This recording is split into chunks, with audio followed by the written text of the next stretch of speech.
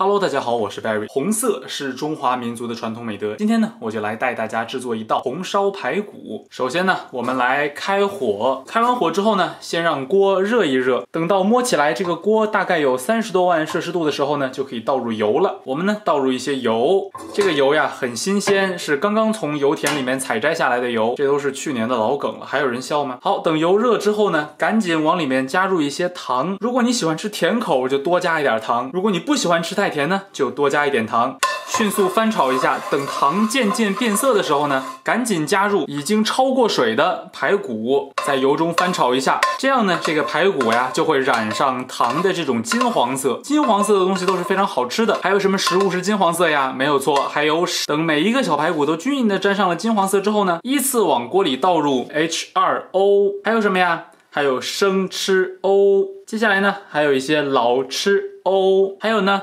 料记欧，以上四样呢，就是古今中外都很闻名的红烧四大欧。接下来呢，你可以撒一些盐，当然了，还要放两个八角，整个锅要搅匀。最好呀，是让每一块小排骨上都沾着相同分量的红烧四大欧。好，这个时候水也开了，火稍微调小一些，调到中火左右。为什么要调至中火呀？因为火太大呀，怕你晚上尿床。接下来呢，就是等待的时间。等待的时间呢，给大家讲一个小故事吧。我的新牌呢，正在。众筹阶段链接在底下的简介栏，新牌的众筹介绍视频呢，我也放在了底下的简介栏。如果有兴趣呢，可以看一看。这次牌长得还挺漂亮的，真的不去看一看吗？好，大概二十五分钟过去了，可以看到呀，已经没有多少汁水了，有没有？汁水逐渐变少，这个时候呢，开大火，这个就是传说中的大火收汁。大火收汁这个词是哪儿来的呀？给大家讲一个故事吧。说很多年前呀，有一位书生进京赶考，一路颠簸到了京城，可谓是饥寒交迫。这个时候看到街边呀有一家卖驴肉火烧的店，这学生也顾不了那么多了，进店就喊小二给我来两个火烧。这小二动作也快，蹭蹭就把火烧递在了书生的面前。书生抱着火烧吭哧吭哧就吃了起来。吃的时候还在说，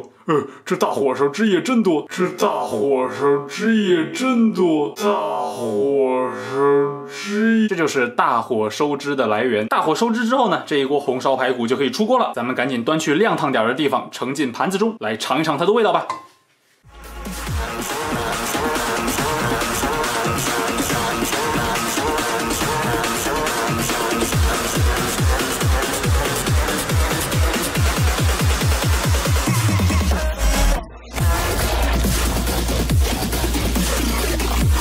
什么我这个做出来看起来这么黑呢？我是不是白平衡调错了？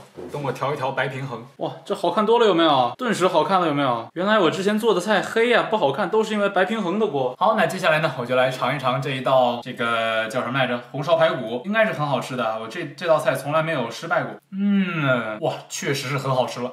哇，好的，那就是这样一道家常的红烧排骨，不知道大家学会了没有呢？大致是这样，我是 Barry，咱们下一个视频再见，拜拜。